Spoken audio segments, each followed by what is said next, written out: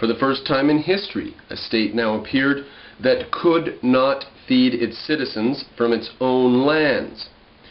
For Periclean Athens had become so large and so specialized in economic activity that the farms of Attica could not provide the city dwellers with enough grain. Since the days of Solon, moreover, Athenian farmers had turned more and more toward production of olive oil and wine. So we see two factors here. Massive growth of the city into a size that the farmland around couldn't support. And the farmland around the city being used for olive oil and wine anyways. Uh, and these were, of course, by necessity, sold abroad. Along with these processed foods, Athens exported a wide variety of manufactured items, the most visible of which in our archaeological evidence was its fine red-figured pottery. In return, Athenian merchant shipping and the war fleet required timber, pitch, and other ships' stores, which came largely from Macedonia, and the industrial population of Athens lived off of grain drawn from Thrace, that's Turkey, Libya, and South Russia. As Pericles said, all good things from all over the world flow into us, so that to us it seems just as natural to enjoy in, uh, foreign goods as our own local products. Not all of the other city-states uh, around the Mediterranean had that luxury. Not all of them had 150 or 500 cities clamoring for Athenian olive oil and wine. Although this specialization made Athens the commercial hub of the Aegean, it also placed the state in a dangerous strategic position. In 437, probably, Pericles made an impressive cruise into the Black Sea, where he unseated a tyrant at Sinope, S-I-N-O-P-E, and concluded a treaty with the native ruler of the Bosporan Kingdom in the modern Crimea, which controlled the export of Russian wheat. To safeguard Athenian access to Macedonia, he settled a large colony at Amphipolis the next year. Already in 461 to 456, the city of Athens proper had been connected by the famous long walls, nearly four miles in length, to its port at Phalerum and Piraeus, so that it could be sure of getting food, right? Get it from the Black Sea or from the Nile. Whoever held the countryside.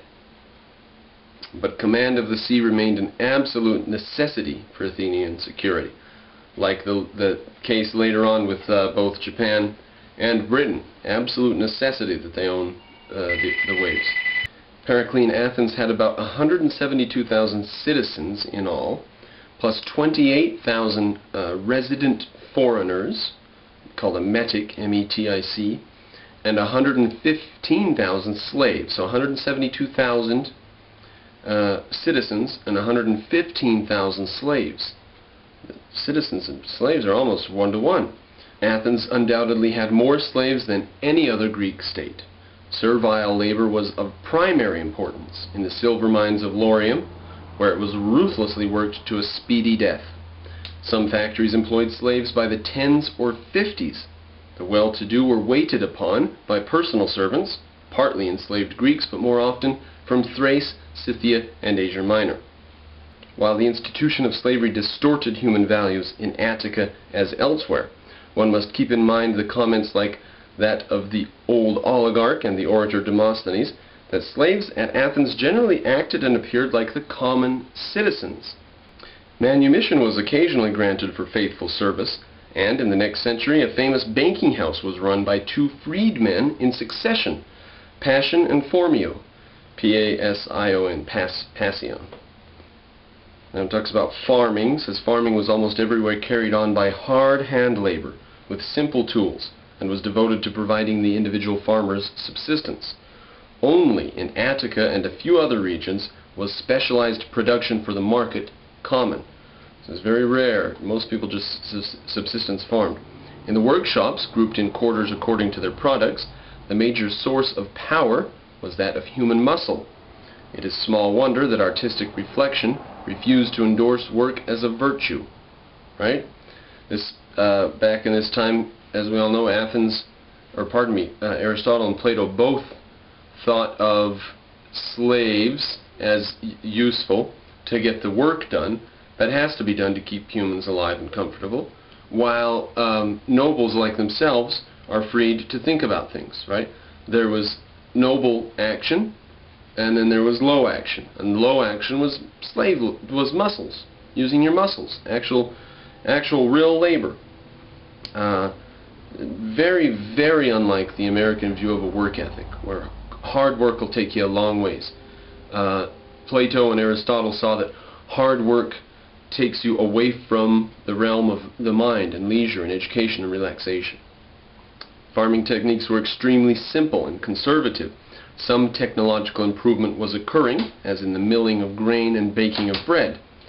But the swift changes common in the Western world since the Industrial Revolution were totally absent throughout ancient history. The Piraeus and similar major ports had warehouses, docks, and other harbor works, for long-range trade was conducted almost entirely by sea in vessels of less than a hundred tons, which ventured out only from March to October. So from November to February, no, no trade, virtually no trade was going on. Roads were primitive. Land transport by men or donkeys was fearfully expensive. Bottomry loans, in which a shipper could borrow usually at around 20 to 33 and a third percent a year, were known by the end of the 5th century, as was also banking, but the latter consisted of little more than money changing, pawnbroking, or the accepting of deposits. To make economic activity even more difficult, Greece was split into a host of fiercely autarchical states, which had very little concept of sound public finance. Apart from fines, tolls, and fees, major expenses of cult and war were usually borne by impositions on the rich called liturgies, and at times by confiscation or by inflation of the currency. In these respects, the unification of much of the Aegean under Athenian rule eased commercial interchanges, and the Athenian owls were famous as a stable coinage. They had the goddess Athena on one side and an owl on the other. And uh, Athena was the goddess of wisdom, uh, so that's why owls are intelligent, right? During the 5th century, very important changes occurred in the routes along which Greek trade and culture penetrated the Mediterranean world. Within the Aegean, the port of Piraeus became a, a focus, largely replacing the more scattered centers of Miletus, Aegina, Corinth, and so on. Ionia, in particular, fell into a slump very early in the century. Attic trade, however, spread from South Russia to Egypt, as is shown in coin hoards and Greek culture began to have an appreciable influence in Syria. This eastward expansion became even more significant in the next century, but already by the 5th century, the island of uh, Cyprus had swung firmly into the Greek cultural orbit.